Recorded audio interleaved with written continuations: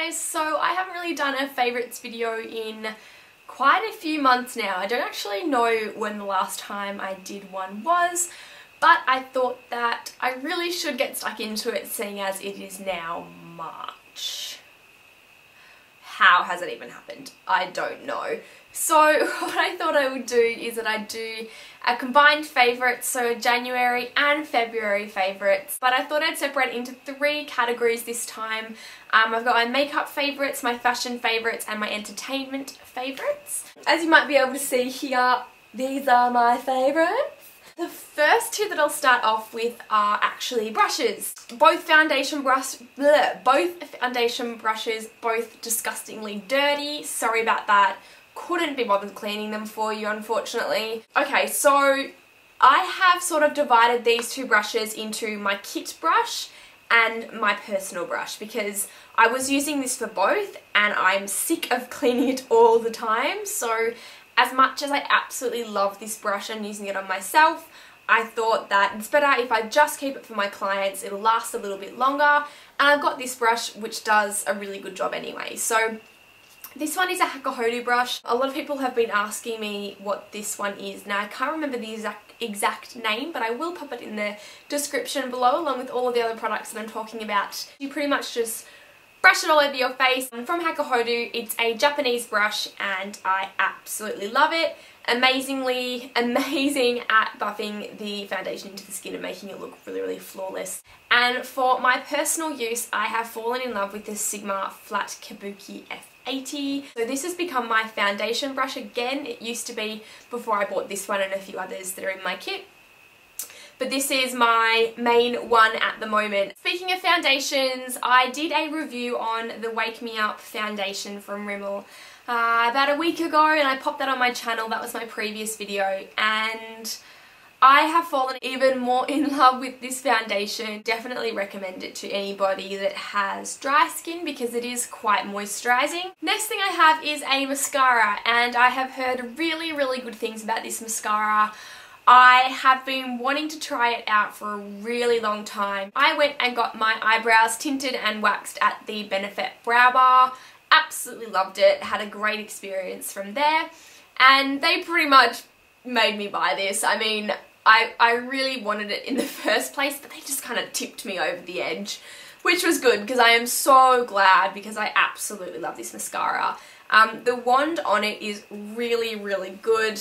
It's sort of like a, a silicone wand. It's really good for really getting into your lashes and separating them. So I really, really like the wand on this one as well as the formulation. Probably one of my favourite so, um, mascaras I've ever used. Next thing is a lip product and this is the NARS Angelica Lip Gloss. This is a mini one. I actually got this in a set with my NARS Laguna Bronzer Duo. So I bought it off Strawberry Net. It was a Laguna and Angelica blush duo and then they had the lip gloss as well. I am not a fan of lip gloss in general. I just don't like the way it feels on my lips and it feels really sticky but I tried the NARS ones and I really really like the formulation of this. It sits on your lips really nicely, it stays on there quite a while so I have been loving this lip gloss. Next up I have two MAC products. The first one I think I have had in quite a few of my favourites over the past six months or however long I've had this channel and this is Black Track, their fluid line. Really, really like the formulation and I just think that it goes on my eyes really nicely, doesn't flake off, doesn't crack, doesn't do anything bad. I just really like it. Really long lasting as well. And this is a cream colour base in Pearl. I always put this pretty much every single morning on my, um, just on my cheekbone and then blend it up towards my temple or just underneath my temple. Um, also put a tiny bit on my cupid's bow and some just in the inner corner of my eye and it really does make a difference to your makeup. It's a beautiful, beautiful colour. I think this would suit a lot of tones because it is a very neutral colour.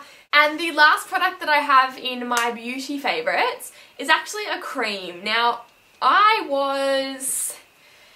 Okay, how do you put this? I was slightly intoxicated and fell down a large flight of stairs at my friend's house and I got two unbelievably painful, huge, disgusting looking bruises on my legs. One I got on my outer thigh area and it was literally this big. like and blue and it changed colours every single day. It was really funny to watch, but great for my makeup. I took a whole heap of photos and when I start learning special effects, I'm gonna try and like recreate it. And then I also had one all the way down my leg. It was just like, it's probably about that long. Um, and it was just like this huge line of bruise just down my leg. I kind of slid down the stairs. Anyway, getting off that story, I was talking to one of the ladies at my makeup and she was saying that there's a cream called Arnica cream that you rub on and it really helps the bruise to sort of hurry along in the process of it like unclotting or whatever. So this is the cream that I got and it's the Arnica cream and it says for temporary relief of bruising, sprains and minor sports injuries and this is from Martin's Martin and Pleasance amazing. It seriously, it sped the process of my bruise healing along so much. Started putting this on and literally within days it was really reducing significantly. So I would highly recommend this to anybody who has some pretty mofo bruises that they need gone before a special occasion buy some of this stuff. So that's it for my beauty favourites. Now I'm going to go on to my fashion favourites. I have a few, not all that many, but some. The first thing I'm actually wearing, and it's this cardigan that I have on at the moment. I bought this at Sportsgirl. I really can't be bothered showing you a full body image. I'm that lazy tonight. But it's a really cute cardigan. It's quite long. It's got these little pockets at the bottom, which are really cool. And it's just really, really warm and comfortable. And I got it half price, so it was $100. So I got it for 50 which is awesome. Um, actually, no, I got it for 40 because it was 80 That's right. So my next favourite is this necklace, which is from a company called Tequila Designs. They sort of design a whole heap of really bright, colourful, really out there statement pieces, which are awesome. You guys should definitely check them out. I'll put their link in their bar below. This is one of their pieces and I am so in love with this. It's the coolest thing ever. It has been amazing for the really, really hot days that we've had lately because when I'm wearing something really plain and I can't be bothered wearing colourful stuff, I can pop this on with just like a black t-shirt and some shorts and it just completely brightens up the outfit and I've absolutely loved this for the past two months that I've had it. They're all handmade in Australia and they have some like some of the coolest stuff. Like there's another one called the Toot and they have like awesome names as well. So one's Baby Toot and then the Toot and it's just like these really really cool necklaces and I really really want to grab one of those. So definitely check them out. I'll pop a little um, thing here of what they're called. Uh, check them out on Instagram and Facebook because they do have um, a whole heap of pictures of all of the stuff and it's really not all that expensive either. But it's really great stuff, all handmade and it's amazing. I am in love with this necklace and I'm definitely planning on getting a whole heap of stuff from them really really soon as well. My last beauty favourite is actually a pair of shoes and these are shoes that I have literally worn to death. I've only had them for about three months but as you will soon see they are so dirty.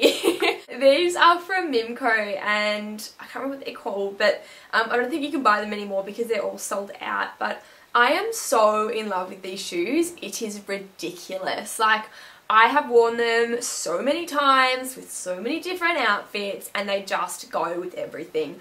I'm absolutely in love with this mint green colour. They call it Seafoam, this particular bluey green.